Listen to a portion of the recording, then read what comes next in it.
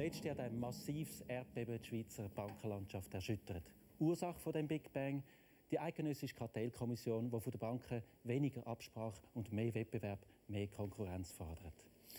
Es sieht so aus, als ob die Forderung bereits erste Auswirkungen hat. In Basel ist nämlich jetzt eine neue Bank gegründet worden, und zwar eine, die echt für Konkurrenz sorgt, eine sogenannte Gedankenbank. Die Bezeichnung Gedankenbank hat mich aber doch ein bisschen irritiert und ich wollte mal per Telefon zuerst herausfinden, was das überhaupt für eine Bank ist und was sie für Dienstleistungen anbieten kann. Hallo? Stadt Gedankenbank? Hallo? Du bist in die Zone eingedrungen. Die Gedankenbank ist das Hirn Gottes vor dem nächsten Urknall.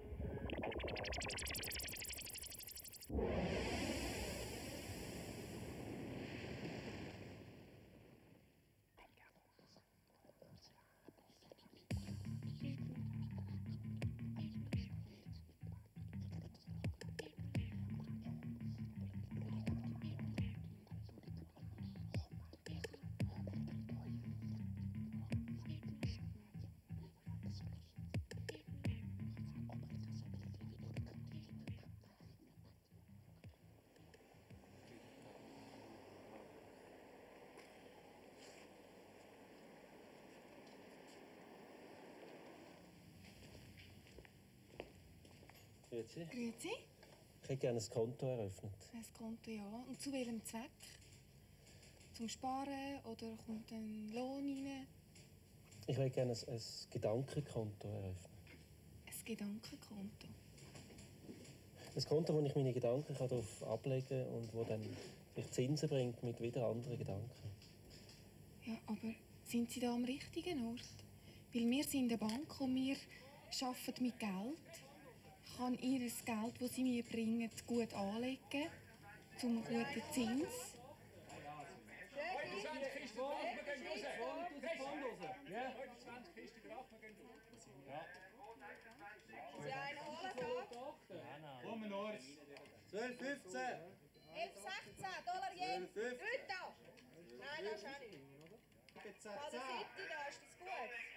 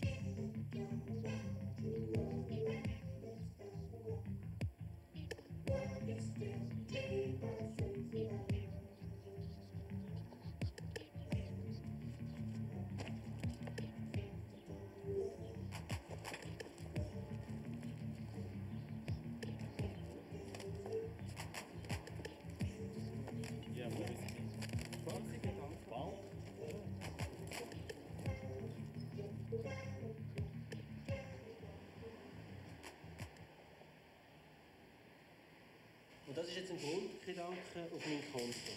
Ja, es gibt die Möglichkeit, dass noch als Grundgedanke kannst eingehen kannst. Unter Umständen hat es bereits Grundgedanke, du noch als Zins verfolgen Das kann auch ein Zinsgedanke. Aber ich komme entweder zum Grundgedanken oder zum Zinsgedanken wieder Zinsen. Ja, ja, es kann Zinsen, Zinsen geben. Das ist eben wirklich die Geschichte, dass es eben so Abläufe gibt oder so. Ich lege ihn jetzt in die Bank ein, gebe ihn mal hinter, vielleicht gibt es Zinsen. Ja, der Brücke, das ist schade, dass wir die Kopf zusammen noch kriegen, das ist schon noch Ja, dann kann ich das vielleicht mal einwärmen, das Ding.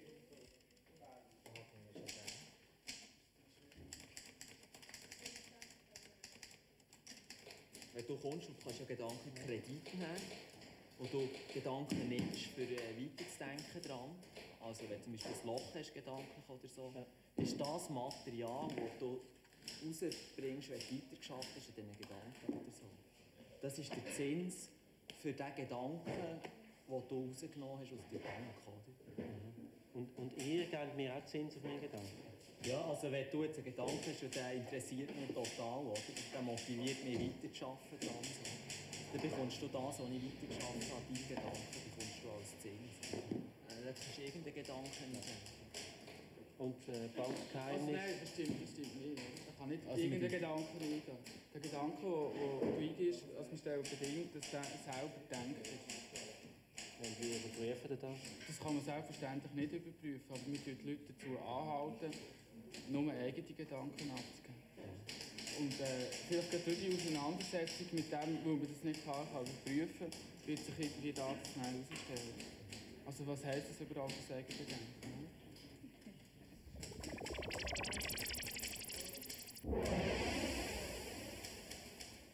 Als Gedankenbankkontoinhaber habe ich natürlich können die eigenen Gedanken und vor allem auch ihre Zinsbewegung in dieser Kartei durchschauen. Unter der Gedankennummer 00058 ist beispielsweise folgender Gedanke angelegt. Der Mensch lebt in der Welt, an die er glaubt. Das ist ein Gedanke, der sehr viel Zins schon getragen hat und der Schlussstand ist im Moment, der Mensch glaubt an seine Illusion und lebt trotzdem in seiner Umgebung.